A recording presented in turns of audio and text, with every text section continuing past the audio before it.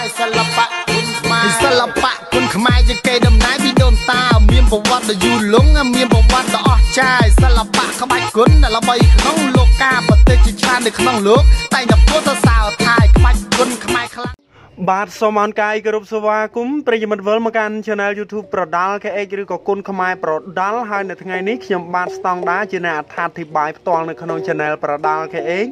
បានវិលត្រឡប់មកវិញទៀតហើយហើយក៏បានដកស្រង់នៅជាព័ត៌មានថ្មីក្តៅដែលកំពុងតែផ្ទុះល្បីល្បាញនៅតាមបណ្ដាញសង្គមដើម្បីលើកយកមកអានជម្រាបចែកជូនដល់ពុកម៉ែបងប្អូនពូអ៊ំមីមីលោកយាយលោកតាសម្ដាប់នឹងទស្សនាវីដេអូនៅក្នុង Channel ប្រដាល់ KH យើងខ្ញុំបាទពេញចិត្តសូមកុំភ្លេចចុចជាវឬក៏ Subscribe រួចដាក់សញ្ញាកណ្ដឹងនោះពុកម៉ែបងប្អូននឹងទទួលបាននូវព័ត៌មានថ្មីជាបន្តបន្ទាប់ទៀតនៅថ្ងៃនេះយើងមានជាសាច់រឿងថ្មីតាក់ទងទៅនឹងកីឡាករល្បីឈ្មោះ3រូបរបស់ព្រះរាជាណាចក្រកម្ពុជា បានទម្លាយរឿងសម្ងាត់ត្រៀមខ្លួនចុចចុចក៏ក្រើកប្រទេសថៃសង្វៀនម៉េចមួយថៃហើយដូច្នេះកុំឲ្យខាតពេលយើងចូលទៅសាច់រឿងដូចតទៅ កីឡាករល្បីល្បីផ្នែកប្រដាល់របស់ព្រះរាជាណាចក្រកម្ពុជាកំពុងតែមានកេរ្តិ៍ឈ្មោះបោះសំលេងឡើងក្រើតក្រើតសំឡើងតម្លៃខ្លួនខ្ពស់ជាងមុននោះកីឡាកររូបណា ដោយមិនទាន់រៀបរាប់ពីការប្រកួតខ្នាតតូចតូច នៅតាមបណ្ដាខេត្តជនបទ គឺយ៉ាងណាតិចក៏មានស្ថានីយទូរទស្សន៍ចំនួន5បានរៀបចំការប្រកួតប្រដាល់រៀងរាល់ចុងសប្តាហ៍ក្រោមការគ្រប់គ្រងពីសហព័ន្ធកីឡាប្រដាល់គុនខ្មែរនៅក្នុងរាជធានីភ្នំពេញហើយក្នុងមួយសប្តាហ៍មានកីឡាករត្រូវចាប់គូប្រកួតសរុបខ្ទង់69គូឬស្មើនឹង138នាក់ ជាមួយគ្នានោះកីឡាករលំដាប់ល្បីៗដែលត្រូវប្រកួតលក្ខណៈមិត្តភាពអន្តរជាតិឬប្រកួតអន្តរជាតិដណ្ដើមខ្សែក្រវ៉ាត់តាមបណ្ដាកម្មវិធីត្រៀមទុកមុនរួចជាស្រេចមានចំនួនប្រហែល30គូផងដែរដោយឡែកកីឡាករឆ្នើមនិងល្បីបំផុតជូមុខដែលមានប្រជាប្រិយភាពជាងគេនោះបានស្នើសុំដំឡើងតម្លៃខ្លួនប្រកួតសម្រាប់ឆ្នាំ2020នេះ ទី1គឺកីឡាករដៃភ្លើងជើងរន្ទះមកពីក្លឹបមកុដរាជសីកូនសិស្សរបស់លោកគ្រូឈិនខ្វាន់ចៃដៃភ្លើងជើងរន្ទះរឿងសភ័ណ្ឌអ្នកប្រដាល់ឆ្នើមមកពីក្លឹបរូបនេះដែលមានអឺសេវាប្រកួតសង្គ្រប់សប្តាហ៍នោះបាននិយាយបញ្ជាក់ថាឆ្នាំនេះការប្រកួតនៅសង្វៀនក្នុងរាជធានីភ្នំពេញគឺខ្ញុំសូមតម្លៃខ្លួនប្រកួតម្ដង700ដុល្លារចំណែកនៅតាមបណ្ដាខេត្ត ធ្វើដំណើរឆ្ងាយហូបចុកស្នាក់នៅព្រមទាំងសហុយធ្វើដំណើរនោះគឺស្នើសុំចំនួន1000ដុល្លារយ៉ាងតិចវ៉ាវសុភ័ណ្ឌបន្តទៀតថាកាលពីដើមឆ្នាំ2019ខ្ញុំប្រកួតម្ដងបាន500ដុល្លារហើយចុងឆ្នាំឡើងបាន550ដុល្លារក្នុងមួយប្រកួតវ៉ាវអស្ចារ្យមែនតែនបាទអស្ចារ្យមែនតែនគឺសឹងតែរកពេលថែសុខភាព សម្រាប់ការប្រកួតឲ្យកម្មវិធីរបស់គេមិនទាន់ផងព្រោះការប្រកួតញឹកញាប់ពេកឈឺខ្លួនមានបញ្ហាសុខភាពព្រមទាំងវាយមិនសូវបានល្អនាំឲ្យមានការរិះគន់ពីមហាជនផងដែរទោះបីជាយ៉ាងណា សម្រាប់ការប្រកួតក្នុងប្រទេសដែលមានព្រឹត្តិការណ៍ធំធំម្ដងម្កាលម្ចាស់កម្មវិធីក៏លើកទឹកចិត្តឲ្យតម្លៃខ្លួនប្រកួតមួយលើកចំនួន1000ដុល្លារផងដែរ ទោះបីជាយ៉ាងណាសង្វៀនប្រដាល់ខ្លះបានរៀបចំការប្រកួតគ្មានតម្លាភាព គឺប្រជែងយកកីឡាករខ្លាំងខ្លាំង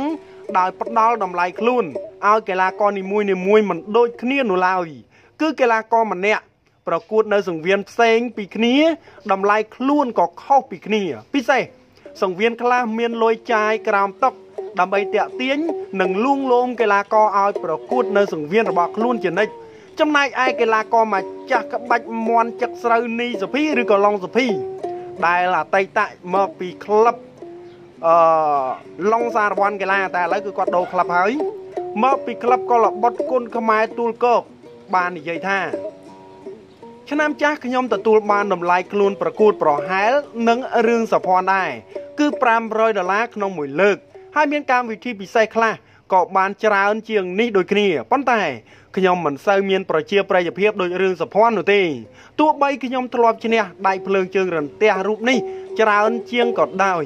អ្នកលេងស្និទ្ធជង្គង់រូបនេះបានបន្ថែមបញ្ជាក់ទៀតថាខ្ញុំចង់សុំដំឡើងតម្លៃខ្លួនដែរប៉ុន្តែមិនហ៊ានដាក់តម្លៃទេគ្រាន់តែសុំច្រើនជាងឆ្នាំចាស់បន្តិច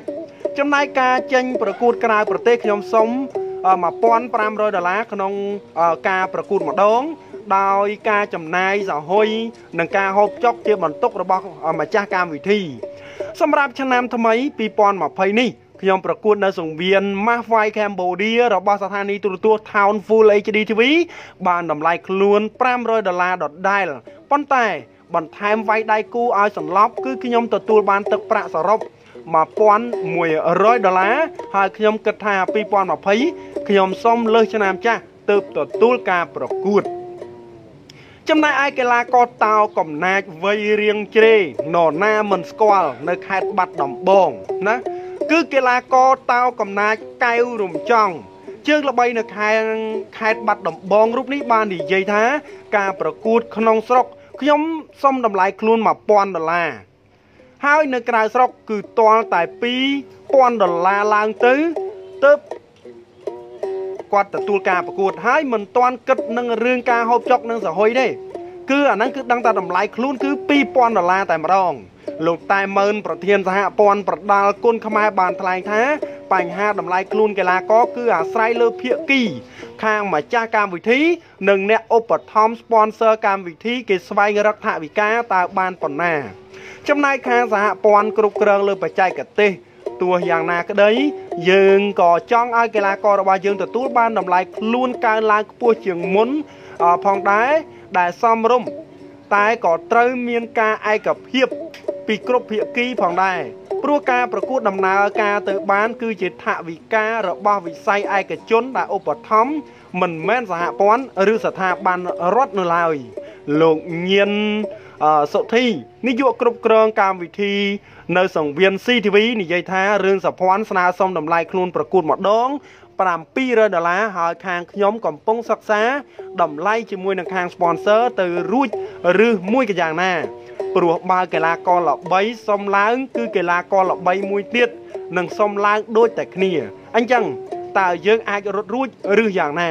គឺមិនទាន់ដឹងនៅឡើយ អញ្ចឹងតកតងទៅនឹងសាច់រឿងនេះសូមបញ្ជាក់ម្ដងទៀតពុកម៉ែបងប្អូន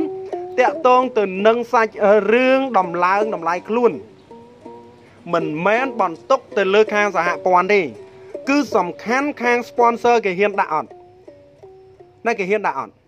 តម្លៃខ្លួនកីឡាករល្បីកាលណាទៅវាយគឺមានអ្នកចូលទស្សនាច្រើនអញ្ចឹង sponsor យើងក៏រឹតតែល្បីដែរដូច Mafia Cambodia អញ្ចឹងគាត់តែបង្កើតមកឧបត្ថម្ភ sponsor ដោយស្រាបៀរ 1ឥឡូវគឺមនុស្សចូលទៅទស្សនា ការគ្រប់ត្រច្បាស់ជាគ្រប់ត្រ sponsor ហ្នឹងហើយអញ្ចឹងរឿងអីតម្លៃខ្លួនគេអត់ហ៊ានដាក់មិនអញ្ចឹង